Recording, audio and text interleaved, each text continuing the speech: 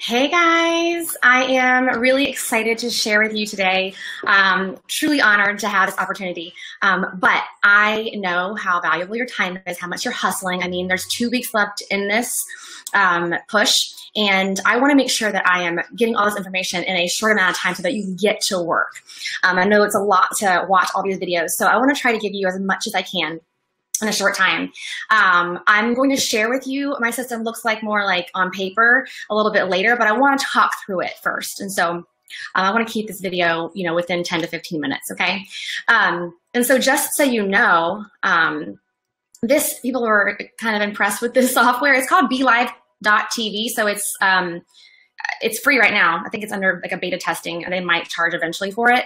But um, anyway, you're able to schedule your live videos so people can get reminders. So kind of a fun thing. Plus you can like share it maybe to your profile. So I post this on my, um, my page, like my, my business page, my like page, and then I'll share it to my profile as a way to get people to um, hop on. So um, anyway, let me kind of get into this. So um, I want to talk to you about creating your no fail plan because it's April 3rd, and I know most people go into their month not really having a plan. Um, they just see that big fat zero on the you know, Success Club points, and they're just like overwhelmed and afraid. But they don't do a whole lot about it. they don't do a whole lot about it that's intentional. So um, I want you to think about this. Like, how would it feel to hit your Success Club goals? Like, in like the first week of the month. Like I am very possibly going to be at Success Club 10 by the end of today, perhaps. And it's because of this no fail plan. Um, and that brings me a lot of freedom and a lot of liberation to focus on grooming and training my new coaches, recruiting coaches, um, creating epic success in my challenge groups so that I have amazing transformations and testimonials and people who want to be coaches and are my most loyal challengers, my most loyal, loyal HD customers who want to become coaches. Um, how would that feel to have so much more time to invest in that, into creating um, people don't, that don't leave the company for other opportunities because they have had such an amazing experience with your challenge group. Um, they've had such an amazing experience with your products. Um, they refer challengers to you. They fall in love with Shakeology. You have time to invest in um, get helping people see the value of Shakeology and not, you know, being those discount coaches who are always inactive or those HD customers, customers who never become HD because you've just been so concerned about hitting your Success Club numbers every month that you're not actually creating a loyal culture, a loyal, um, loyal customers. So I want you to think about how that would feel. Being able to spend time working with your the, the, people on your team who have joined and helping them create success. So that's the plan, and that's what we're going to work on today. So um, this also helps you with creating. I'm going to plug my. This is going to. I'm going to be distracted by this red bar. So let me go ahead and plug this in. Um, Okay. This also helps me to create a social media marketing strategy. So, you know, you don't feel like each month you're kind of just throwing spaghetti at the wall. So I know when I have this no fail plan each week, what I'm focusing on, what to direct my social media at. Um, you may have heard many other coaches share their plans and I used to follow, I used to try to like um, do what they were doing, but ultimately you're going to find something that works for you. I'm going to share what works for me and then I'm going to talk to you about how you might create your own. Um, but let me walk you through mine. Um, this is also something that I think is duplicatable and that you can share with your coaches and your um, your new coaches to help them feel confident. I think this is very scary to them. And when you have something that is so like um, scripted out like this to help them, that gives them a lot of confidence that they can do this. My coaches, almost all of my coaches who are successful, follow a very similar, if not the exact kind of plan that I do because um, it's effective because it works. So, um, so many of you though, um, so many of you have commented to me um, after that first video, that kickoff. Um, I got so many awesome messages and comments like you guys overwhelmed me like it was so um, cool to get that feedback from so many of you who um, said that you identified with me or my story touched you or you know it spoke to you because you, you know it was you related to it a lot. Um, i am gonna look at these comments later because i'm not really good at um, doing both. My adhd brain does not do well. So i will come back and um, answer these at a later time. So i apologize. Um, so so many of you sent me those messages that saying you know you can relate to um, kind of being the warm fuzzy coming in coach not really needing to be successful not really having a huge why you know it wasn't about creating income you were comfortable um, you didn't need success in the business traditionally um, you know you didn't have anything like super dramatic to bring to the table so your motivation wasn't necessarily there um, but you just kind of just have this heart to help, whatever. A lot of you, and, and I just so appreciate it. And I want to talk to you guys tomorrow more about that. I want to talk to you more about how, um, how I have created drive and ambition and, and um, like a relentless approach to this business with that, um, but not today. But I, I do want to speak to you. I want to I want to speak to you right now about how important this is for you, how important this no fail plan is for you. I'm gonna get a little bit real. I'm gonna get a little bit. I, mean, I might step on some toes, but I and I apologize. I do. I say it because I am you. Okay. Um. So I'm not the I'm not the coach that came in like super focused, type A, expert time management. Like I struggle with that very seriously. I'm not a structured girl. I don't create super structured systems really in general. Um, I've been known to beat myself up about not being that coach, that same trait that so many top coaches seem to have. Uh, but what I am is somebody who fell in love with helping people and having purpose and just feeling so fulfilled by this. Um, the problem with people like me, though, is that we're the best at BSing ourselves about oh, I don't need success. And so when things don't happen, when the numbers don't happen, we're really good at um, brushing it off like, oh, well, I just wanted to help people. This isn't about numbers anyway. I'm just going to be here to like, you know, bring joy and love to the world. Well, that's such crap because it is really um, masking a fear. And I don't know what that fear is for you. It's going to be very different. We can talk more about that tomorrow. Um, but I think it gets really dangerous because oftentimes we see people who are doing uh, really well, people who are putting the numbers on the board, people who are rank advanced, and people who are all doing all those things that we kind of say we wanted to do, but when we're not doing it, we make excuses for it. We judge them. We say, oh, well, they must not like, they're just all about the success and the money and the numbers and the rank advancements, and they must not like really be um, honoring their other priorities. We like, we get really good about that. And I want to just caution you against that attitude, that behavior. I want you to take a second and um, not, I'm not going to say do anything with it right now. I'm not going to say like check yourself and go, you know, hustle and whatever. I'm going to say just identify the fear that is actually the truth right there. Um, for me, it was self preservation. Um, I said that because I didn't want to put myself out there. I said that because I was afraid. Because here's what I know people like us, people like us who say with all the warm, fuzzy, the pearl personalities, you should be the best at this business. You should. Because you should be putting in so much time and effort when the numbers aren't on the board. And that's where we're going with this. Because April 3rd, April 1st, 2nd, 3rd, the first week of the month, every month, you should be all up in people's faces with your love and warm fuzzy. You should be putting in all the time and love when nothing's coming from it but you don't. You get to the end of the month and you start to get panicky because there's no numbers on the board. And then you feel like you're selling and then you feel like this isn't for me. This isn't for me. Right? You use that as proof when you kind of, when it takes away the joy in the month, it takes away the joy in the, in the business when you're like panicking for numbers, when you're panicking for sales, then you're like, that's kind of more proof for you that this isn't for you, but you're full of it. Because if that was truly, if you truly came into this to help people, super altruistic, then you would be all up in, you know, April, first week of the month, second week of the month, adding new contacts, investing in people, finding those people to help, loving on them, investing in them, connecting with them, hey girling them, um, doing Haley's Gangster Act connections. You should be all over that.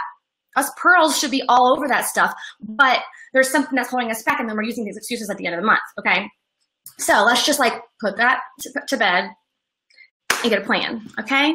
All right. Hi, Martha. I love you too. Martha and me, we're pearls. So she gets me. Um, okay. So Martha follows my plan, plan and Martha hits some success, success club. Yes, she does. Um, so I will, let me just kind of say this real quick. Yes. When I use the word success, I'm going to talk about traditional success. I agree with you that, um, how you define success success is just is different, you know, for everybody. Um, so we can say, oh, I'm a success if I'm helping people. Um, okay, that's fine. Let's just that's just that's cool. But um, we're talking about making a real difference in people's lives, and we're talking about putting these the things that we know make a huge difference in someone's lives in their hands. And that is these challenge packs. That is a Shakeology. That is a challenge group experience. Okay. So if you are not talking to and helping and loving enough people throughout the month that you can't get at least three, then you're not really doing what you said you came to do. Um, and again, I don't mean to hurt your feelings. Just identify that, okay? And I and just decide: do I want to be a hobby coach and do that, or do I really want to change lives? Okay, so you've decided, right? And you're here. So I'm going to share with you um, how my my month looks. And then I'm going to share with you kind of more how I do that the you know couple day maybe Tuesday and Wednesday, um, maybe Wednesday and Thursday, because it's going to talk about heavily talk about free groups. Um, and I know this isn't going to be everyone's jam, but I do think I, some of you might um, do well to listen, even if you don't think it's your jam, because you might find where this could be your jam. Um, and it works really well for me. It's why I'll hit Success Club 10 today. It's because I just finished a free group. Um, so my week, my, my, month looks like this. Um, and I'm going to back up to the end of the month. So week four slash five, depending on how the month falls, I'll have a five day free group. And it will generally bleed into the first of the month. This month was awkward because the first was Saturday. So I, I ended my group on the 30th, but most of the time it'll like end on like the second, third, fourth, depending on the month. So I always plan it that way so that I am heavily inviting from my free group first. And that's where I get pretty much Success Club, my initial Success Club points, a lot of them. And I'm inviting, I'm inviting right there in the beginning of the month. Um, and then I'm hitting and then that next next month, I'm still, or that next week, I am still inviting. Heavy inviting from my free group, from all the connections I made the month prior, and um, starting to enroll people. Week two of the month is my prep week, my prep week for my challenge group. Now, I'm setting this up to give those people who joined in the beginning something to roll into, but I'm also able to continue to invite because it, the group hasn't officially started.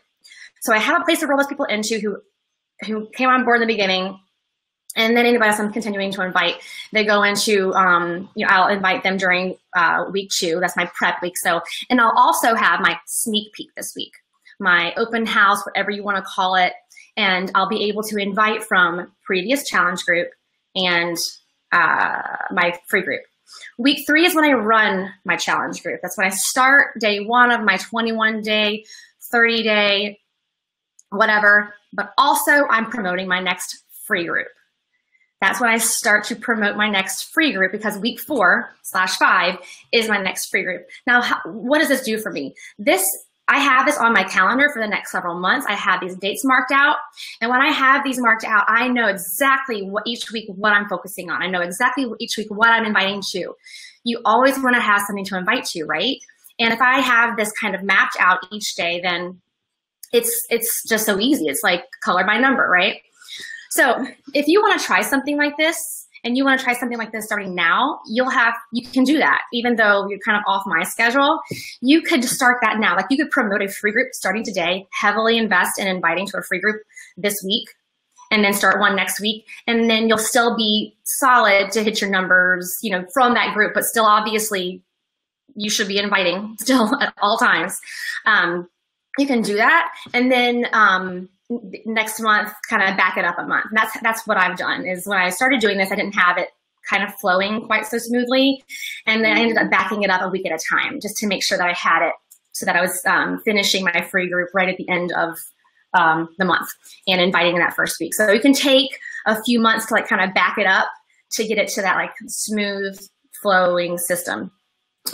So um, we'll talk about those free groups. And if you want to go ahead and promote one starting now, I can kind of give you my, my best action, my, um, my, my best practices um, starting throughout this week uh, because this is my jam. This is how I, this is how the like pearl girl, this is how the warm fuzzy girl who was terrified of inviting um, was able to put huge numbers on the board without like feeling like she was uh, having to be bold and aggressive. Now I've grown a lot in the past four years so that I, I'm much more bold and I invite lot more comfortably now. But in the beginning, I was so afraid. I was so afraid of being a salesperson, but I knew that I wanted to help people that I was so relentless in doing whatever it took to not be one. so I never felt like one because I was so heavily invested in the people in that connection early in the month. So I never felt like I was inviting out of nowhere. So if if you want to go with my plan, I mean, you know, I'll show you how my, my, exactly mine looks. But if free groups aren't your thing, and maybe you're, you know, right now that's not something you want to focus on, I would encourage you to not try to start anything new if what you're doing is working for you, because you know, right now you're building, you're building a diamond, and you need to do that. you need to not focus on creating new things right now. Right now, you're in a push, and it's time to push, and so continue that. But if you're already doing free groups and it's something that might bless you to like um, to start yours next week, um, we can definitely do that. So right now, week one of the month, you need to be adding a new coach, a new co contacts like it's your job. It is your job. Okay, that, there's a reason that on the power hour, the first thing is adding new contacts. So often people don't, that's like the, the last thing people do in their connections. Um, there's a reason that's the first thing. Now, I'm a batch inviter. My power hour has pretty much always looked different. And I've, and I share this with my team. You may not look at your power hour and do three people a day, you know, three new contacts, three, um, you know, three, three connections, three invites. You might not, that doesn't work well for me because I use up so much emotional energy just to invite. Um, that I have to just like, I'll do it like once or twice a week and I'll do it in like large proportions and huge batches. So there's a few things on your power hour that you can't do in batches. Like you obviously need to do PD every day. You obviously need to do Shakeology every day. You can't batch your workouts. You got to do those daily, right? There's certain things that just are daily. There's some things that you can just add like a crap ton of new, um, like I can just focus for an hour on adding to my network, right? Um, the next day, I will be all up in my connections. It'll be like dozens, okay? So this is something that works well for me. And, and if that's something that better for me. Because let's think about this. When you go to invite, like how much emotional energy do you take to invite? For me, it's like, okay, here I go. You know, yeah, kind of, not anymore, but in the beginning, it was like so much emotional energy. I knew I needed to do it, but it took so much, like I got so melodramatic about it because I was still not comfortable. But like if you're just doing it once or twice in a week, but you're doing it in huge proportions, like I'm talking like dozens, then you, you, you work out that emotional energy once or twice that week. And then you get into this roll and this flow. And then like, now you're like, oh, I had 20, but I'm on a roll. Who else can I invite? It's amazing. So I encourage the batch inviting, um, and especially when you're trying to set up your your month in a way that you're um, in, a, in an effective way. I feel like my first month, the first week, it has to be so heavy, so so heavy um, on inviting for me. But for you, if you're like you're not you're not there, your challenge group say is like scheduled for, depends on when your, your group is scheduled for, you're to need to back this up and put so much of your heavy connections in the beginning of the month. So right now is this, this week should be the kind of effort you put into week one of the month should look like the effort so many of you are putting into the last week, but not but not like pushing for success club. This should be where you are just pouring, pouring, pouring, pouring into people this month, this or this week you should be doing all of that as early as possible. So say um, your group is, I don't know when your group is planned for, if it's, you know, the end of the month or if it's, if it's the beginning of the month. I don't know if it's like, say your group started today, um, but your next group is the first week of May. You have so much time to be investing in people, but most of you aren't. You're just hunting for Success Club numbers. You aren't putting in the, the, the farming. So, um, I'm gonna, I told you I'd keep this short, so I'm gonna, I'm gonna close off with this. I'm gonna share with you how, what my month looks like. But um, I want you to think about your business as, like, you know, like you're a, a farmer. And, um, and there's pearls, we don't wanna be hunters, right? Like that, some like the Ruby type, some people kind of get, you know, like get excited, get geeked out about like that, the uh, energy that comes from like that push, that like pressure. But people like me, that's, that makes us feel panic, that makes us feel inauthentic. Um, but here we find ourselves hunting at the end of the month time and time again. So be a farmer, be ready to, to reap that harvest um, by the end of the month by putting so much of that love and watering and nurturing, you know, right now. Okay, so I do want to keep this short, so I'm going to shut my mouth and um, I want to share with you um, via like an image um, and some text, um, you know, a little bit more, some steps on how to do this. So I hope this is helpful. If you have any questions, go ahead and comment below. And I'm supposed to get on my mastermind call right now. I'm late for, and I'll answer those afterwards. So thanks for listening. Tomorrow, I'm going to talk to you pearls a little bit more. I'm going to step on some more toes. Okay. All right. Talk to you guys later. Bye.